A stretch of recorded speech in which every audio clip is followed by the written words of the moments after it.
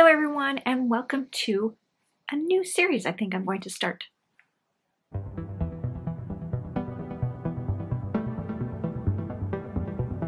So this is a new series that I thought I'd start called Let's Talk and I'm going to talk about anything, everything, that kind of stuff. And I thought we would start with Eric LaRocca and his works. I was brought to the attention of Eric LaRocca's works by Nichi over at Dark Between Pages, and we buddy read his debut novel, Starving Ghosts in Every Thread, in October, no, November of last year, and loved it. Just loved it. This was his debut novel.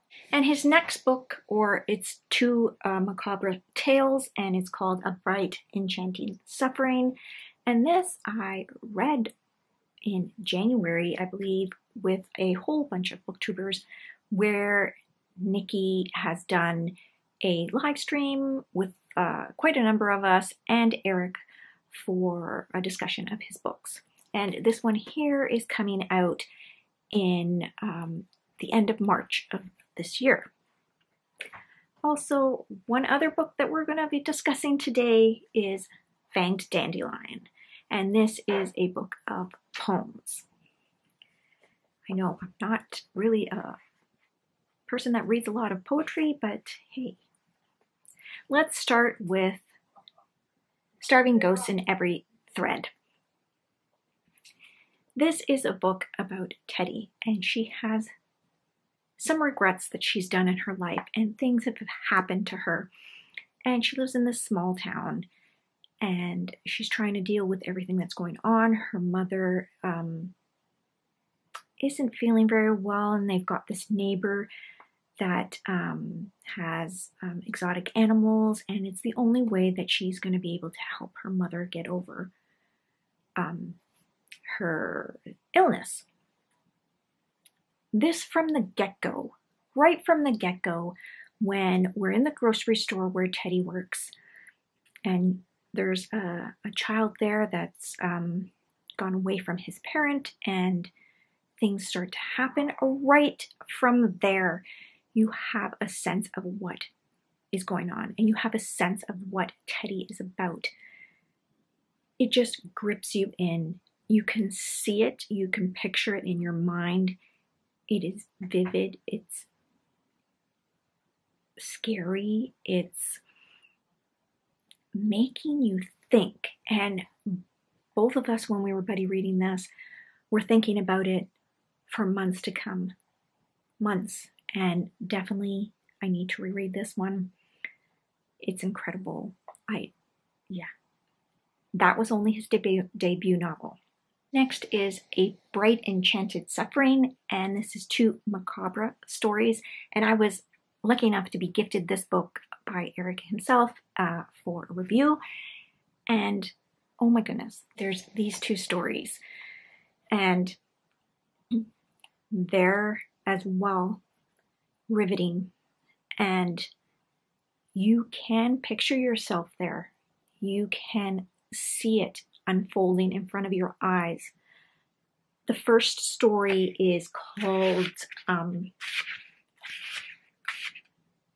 You're Not Supposed to Be Here. And there is a couple um, who, uh, who a stranger comes up to them and says, You aren't supposed to be here. And things go from there.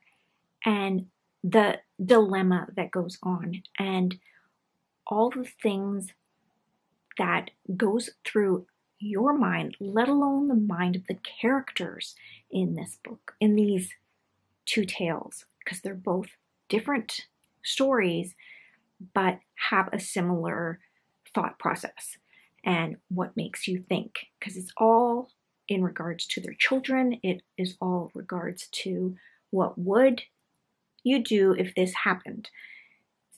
And this was definitely two of my favorite stories.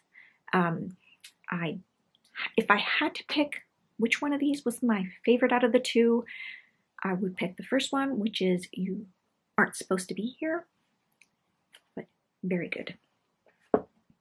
Then there's the poetry that he's done. This man can do anything. He is incredibly talented. He makes the reader think, think outside of their comfort zone. He makes us look at things in a different way. And that to me is a great writer. Whether or not you like horror, you like poetry, anything that you are into, this is an author, an indie author that you must pick up. It's just still in my mind. It is still vivid. I remember Teddy. I remember her mother. I remember the town that they live in. I can remember what she was doing and how she got from her house to her neighbor's house. It's just a picture in my mind and it's not going to go away.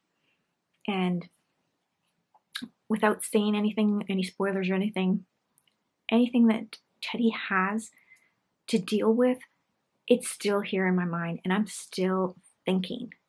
And to me, a sign of a good book is that you remember it in vivid detail and you want to go back and reread it. And the author is an auto buy. And that's exactly what Eric LaRocca is. If you haven't read his works, you really need to. They are incredible and I can see big things coming from him in the future. I hope you enjoyed this video. If you have, please click the thumbs up. If you haven't subscribed and would like to, please press the subscribe button and I will see you again the next time.